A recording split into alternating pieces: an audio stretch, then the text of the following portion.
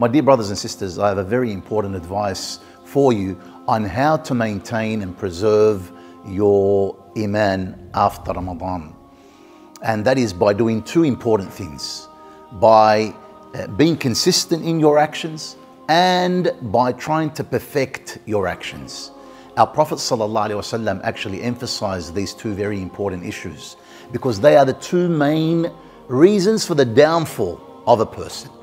Prophet ﷺ said, أحب الأعمال إلى الله أدومها وإن قل. The most beloved of deeds to Allah are those which are done consistently, even if they are few. And he said, إن الله يحب من عبده إذا عمل عملا أن يتقنه. Allah loves from his slave if he were to do an action to perfect it.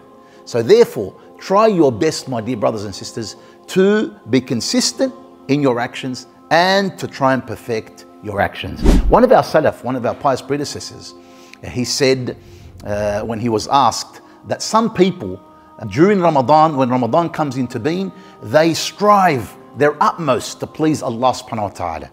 And when Ramadan leaves or when Ramadan is finished, they abandon their striving and sacrificing. He said, How awful are these people? They only know Allah during Ramadan.